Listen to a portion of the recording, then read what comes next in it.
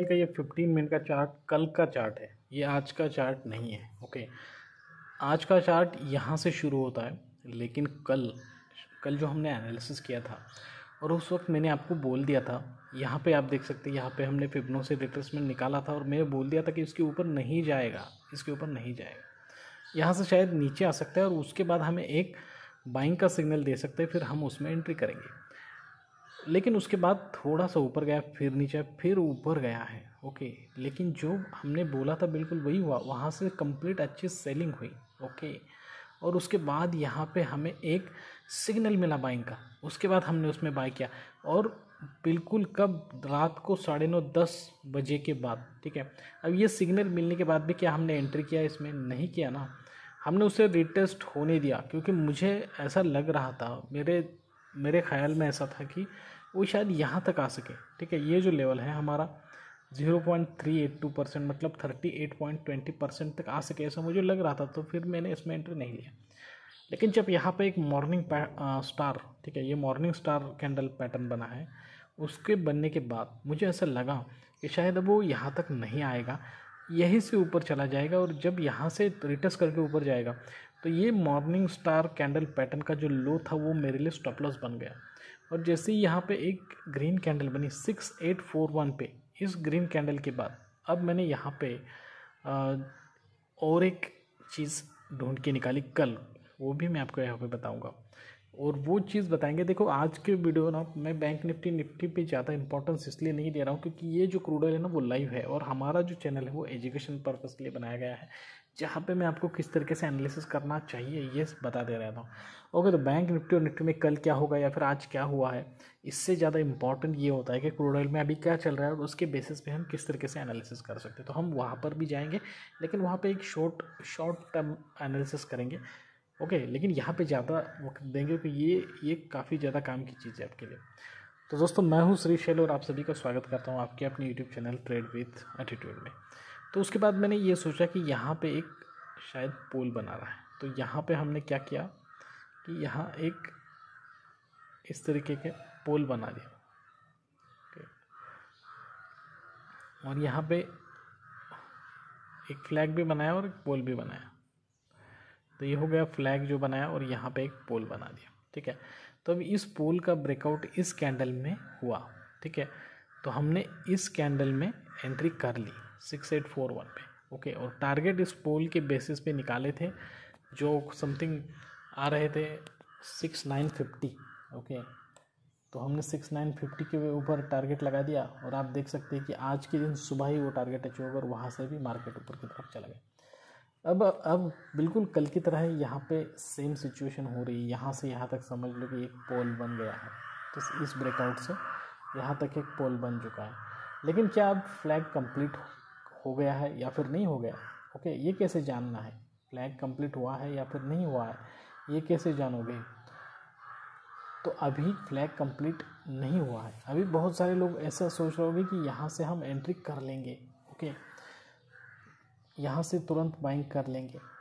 देखो कंफर्मेशन मिलना चाहिए दोस्तों। ऐसे ही बाइंग करके क्या फ़ायदा है? अभी हम यहाँ पे देख रहे हैं ना कि एम को, ठीक है, अभी एम जब ऊपर के साइड पे जाएगा ओके जैसे कि यहाँ पे क्रॉस ओवर होगा ना अच्छा खासा, तभी हम उसमें एंट्री करेंगे। तभी, अभी तक नहीं करेंगे। जल्दबाजी नहीं करेंगे ओके तो यहाँ पे अभी थोड़ा वेट करेंगे और जैसे यहाँ से हमें एक अच्छा सिग्नल मिलेगा ओके तब हम उसमें एंट्री करेंगे, तब तक नहीं एंट्री करेंगे ओके तो यहाँ पर फिर एक बार वही पैटर्न बन चुका है फ्लैग एंड पोल का और जैसे ही इसमें हमें कोई एंट्री मिलेगी, हम उसमें एंट्री कर लेंगे ओके अब चलते थोड़ा बैंक निफ्टी निफ्टी को देखेंगे बैंक निफ्टी निफ्टी में देखिए, फिर एक बार यहाँ पे बाइंग आ गया ओके और यहाँ पे अभी सेलिंग होने के भी चांसेस मुझे ज़्यादा लग रहा है। बैंक निफ्टी को अगर देखें तो दोस्तों, यहाँ पे हेड एंड शोल्डर बनाने के बाद ऊपर जाना चाहिए था, फिर नीचे आ गया तो यहाँ से नीचे। अब ये काफ़ी कंफ्यूजिंग सिचुएशन बना रहा है बैंक निफ्टी ओके अब मैं आपको यहाँ पे और एक सिचुएशन बताता हूँ कि अगर समझो कल इस लेवल को, ठीक है, इस लेवल का ब्रेकआउट हमें मिलता है। यहाँ पर देखना, यहाँ पे गया, ठीक है, और यहाँ से नीचे आकर फिर इसे इस तरीके से ब्रेक करेगा ना तो ये एक कपन हैंडल पैटर्न बन गया ओके तो ये अच्छे खासे ऊपर के साइड पे हमें रिज़ल्ट देगा। कल मतलब मंडे ओके मतलब मंडे तो मंडे के दिन अगर समझो ऊपर नहीं गया, लेकिन यहाँ पे कंसोलिडेट किया तो ट्यूसडे के दिन तो आपको ऊपर के साइड पे ब्रेकआउट मिल सकता है। तो वो भी हम देखेंगे क्या होता है ओके और उस हिसाब से हम ट्रेड करने की कोशिश करेंगे। फिर अब यहाँ पे निफ्टी निफ्टी में तो मैंने आपको बोल ही दिया था ना कि निफ्टी में ना ये काफ़ी इम्पोर्टेंट लेवल आ गया है। ये जो लेवल था ना, ये जो कैंडल के बारे में मैंने आपको कल बोल दिया था ना कि ये एक स्टॉप लॉस हंटिंग कैंडल बना दिया निफ्टी ने। तो इसका मतलब ये है कि इसके नीचे मार्केट नहीं जाएगा। ये कल का वीडियो में बोल दिया आपको। और आपने कल का वीडियो नहीं देखा तो देखना, बहुत ज़्यादा नॉलेजेबल वीडियो थी वो कल की। ठीक है, आज के लिए एनालिसिस वाली। उसमें मैंने आपको क्लियरली निफ्टी के थ्री टू फोर पॉइंट्स बताए थे, जहाँ पर निफ्टी ने सपोर्ट लिया था। तो ये, उसके लिए ये काफ़ी इंपॉर्टेंट सपोर्ट लेवल था और उस सपोर्ट लेवल पे आने के बाद यहाँ पे एक अच्छा खासा स्टॉप लॉस हंटिंग कैंडल भी दिखाया ना हैमर तो उसके बाद मैंने आपको कल ही बोल दिया था कि निफ्टी में बाइंग होगी और अगर आपको बाइंग दिखती है तो आप बाइंग साइड पे जा सकते हो और देखो कंटिन्यूसली स्ट्रेट बाइंग मिला है निफ्टी में ओके देख रहे हैं ना आप लोग। तो अभी एक्चुअली यहाँ पे क्या होता है ना कि अब ऊपर जाने के बाद थोड़ा बहुत रिट्रेसमेंट भी करा है ना और ऊपर जा रहा है तो फिर भी आप निफ्टी में बाइंग साइड पे जा सकते हो, ठीक है? ओवरऑल निफ्टी का पोजीशन जो है ना कंप्लीट कंप्लीटली बिल्कुल अभी उसने क्या किया है कि रिवर्सल ले लिया है और मुझे ऐसा लग रहा है कि बाइंग साइड की तरफ़ उसका ट्रेंड अब ट्रेंड शुरू हो सकता है। तो थोड़ा बहुत रिट्रेसमेंट होगा, नीचे आएगा। नीचे आने के बाद जब ऊपर जाएगा ना, तब उसमें आप एंट्री कर सकते हो। लेकिन विदाउट स्टॉप लॉस बिल्कुल एंट्री नहीं करना। अब यहाँ पे सबसे इम्पोर्टेंट चीज़, देखिए यहाँ पे आप देख सकते हैं ना, मैं वनडे में भी लेके जाऊँगा बिरला सॉफ्ट अब आप लोग सोच रहे हो कि आप हमेशा बिरला सॉफ्ट के बारे में क्यों बोलते हैं? क्योंकि भाई वो मेरी इन्वेस्टमेंट उसमें है, इसलिए मैं आपको बताता रहता हूँ और मैं उसमें स्टडी भी करता हूँ। लेकिन ऐसी बात नहीं है कि आप भी उसी में करें। बस just for knowledge purpose okay देखो, यहाँ पर मैं चार्ट भी निकालते रहता हूँ। तो इस तरीके से यहाँ पे अभी तो काफ़ी सडनली ज़्यादा बाइंग चालू है यहाँ पे ओके तो बहुत सारे लोगों को मैंने थ्री ट्वेंटी फाइव पे बोल दिया था कि ये बहुत अच्छा स्टॉक है, इसमें बाई कर सकते हो। तो जिन्होंने भी उस वक्त किया है तो उनको मैंने फोर हंड्रेड पे भी एग्ज़िट भी करवा दिया था, लेकिन मैं अभी भी इस स्टॉक में बना हूँ। मैंने एग्ज़िट नहीं किया है। मेरे कुछ क्राइटेरियाज है एग्ज़िट के। जब वो कंप्लीट होंगे फुलफिल होंगे, तभी उसी वक्त मैं इसमें से एग्ज़िट करूँगा। अभी के लिए तो मैं इसमें बना रहा हूँ। अब वीकली में जाके इस चार्ट को देखेंगे। तो देखो आप कितनी ज़्यादा बाएँगे यहाँ पे, आप देख सकते हो। कम्प्लीटली बाएँगे वीकली में, इस वीक में काफ़ी ज़्यादा बढ़ चुका है ओके तो जब मेरा क्राइटेरिया कंप्लीट होगा और जब मैं इसमें से एग्ज़िट करूँगा ना तो मैं आप सभी को उसके बारे में भी बताऊँगा कि मैंने क्यों इसमें से एग्ज़िट किया।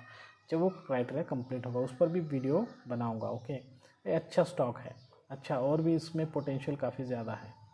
लेकिन ये आपको रिकमेंड नहीं कर रहा हूँ मैं ओके ये सिर्फ़ एजुकेशनल पर्पज़ के लिए मैं बता रहा हूँ आप सभी को।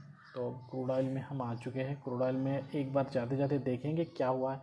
क्या ब्रेकआउट हमें मिला भी है या फिर नहीं मिला है। ओके।